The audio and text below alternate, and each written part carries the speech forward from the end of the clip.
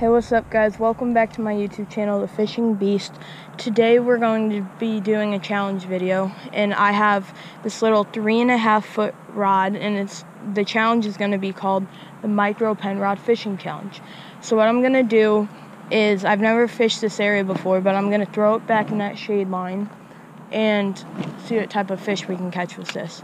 And I have a bucket behind me that's filled up with water, and we'll put the fish in here for the video. We'll put the fish in that bucket and I'll release them at the end. But first cast, we already got a bite, so that's a good sign. I just have a little bobber on here with a split shot and a piece of worm, and they seem to be liking the piece of worm so far. So what I have right here is just, it's a little piece. It doesn't have to be very big. I'm just gonna take it, thread it through once like that, and then I'm gonna grab it and thread it back through again just like that. And what I'm gonna do is throw it right in the shade line because it's pretty hot out. So they're gonna be hanging out in the shade line. So I'm gonna throw it in there. Okay, we're getting bit, so that's a good sign. I've never fished here before, so I don't even know if there are fish in here.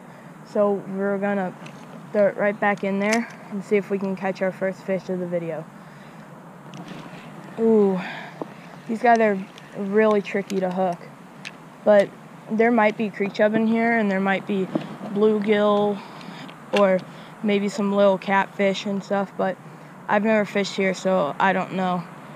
But we, I, I threw it out in the sun on that so i need to throw it back in the shade. But when it's hot out like this you want to get it in the shade spots because that's where they're going to be at. So just throw the worm back in there. These guys are really really actually really hard to hook.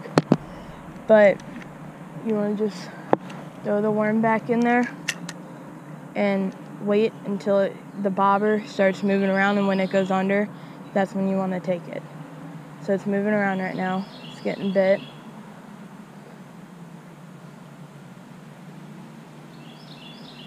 I can't tell if they took the worm off my hook or not. Oh okay so these fish are really really tricky to catch. I'll try to catch one and then I'm gonna turn the GoPro off and catch some more and then I'll show you guys what I've caught at the end of the video. But these, I'm actually having a really hard trouble hooking these because like their mouths are either, oh there we go, first fish. And that is a little bluegill.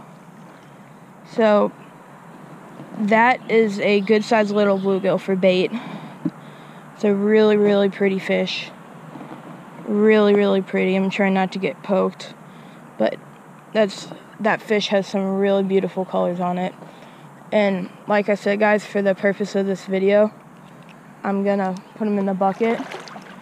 But afterwards, I release them all back into the into the stream again. So it'll all be fine. But I'm gonna throw it right back out there and see whatever other fish we can catch with this. I so judging by this, I'm pretty sure there's bluegill in here. There might be some creek chub hanging up and these little shade spots back there. But the creek chub don't come out till late afternoon, so we not, might not be able to catch them. But we're gonna try to anyways. But I think I'm gonna go over in that area and see what other fish are in here. Okay, it's getting bit. Ooh, okay. These guys are really, really tricky to hook. So I think the, I think what we're gonna have to do is let them bring the bobber completely under. Then after they bring the bobber like that, you gotta, I guess I'm gonna have to set the hook afterwards. But I am going to turn the GoPro off for a bit and I'm going to I'm gonna catch some and then I'll turn it back on and show you guys the amount that I caught. Okay guys, so I'm gonna fish for a bit longer and I'll film this part too. But what I'm doing is I'm just throwing it in these shade spots in here. And I've caught a lot of bluegill and a couple creek chub so far. But what I'm doing is back in that shade spot, right there, there's a lot of fish just loaded in there. There's another one. And that, guys, is a huge, huge creek chub. Look at that guy.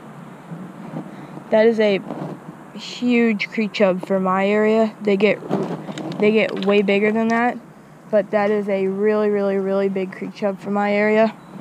So, like I said, an amazing size creek chub for this creek, because this creek isn't very big, like as you guys can see right there, but I'm catching a decent amount of fish on here, but I just ran out of worms. So I'm going to show you guys the final product of all the fish that we caught. Those are all the fish right there. So right in here, there is, that's a little, little, little creek chub right there. So there's a lot of bluegill in here like that guy. And this guy right there. But we're gonna get a good release and we'll save the biggest chub for last. So first off, a little bluegill. So there he goes, swims right off. Second, we're gonna get this bluegill that's a bit bigger. And I think we caught one, two, three, four, five. We caught eight fish in total. There's the second little bluegill. Off he goes. Um, now let's grab the third bluegill right here. Another perfect little guy those are all perfect bait for bass and catfish and stuff, but I don't normally keep the fish. Um, there's the fourth little bluegill. And let's grab the last bluegill in here. just spined me. And that's the last bluegill. That's five.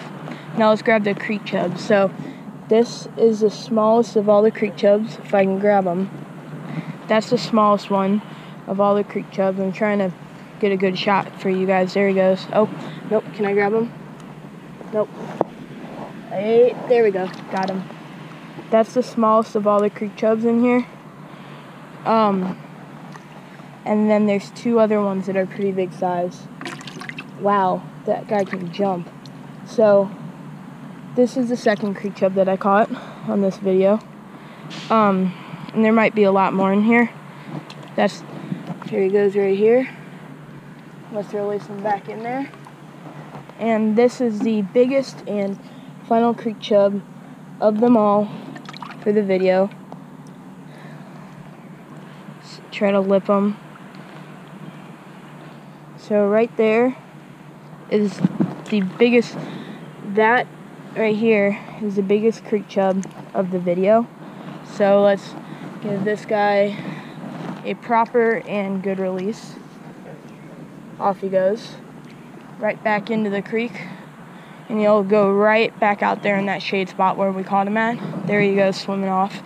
So, thank you guys for watching this video. This is a good way to catch creek chub and bluegill and stuff, and that was my my challenge video for this video. So, thank you guys for watching please don't forget to like and subscribe and turn on the notifications so you never miss another video. And thank you guys for watching, and I will see you on another video.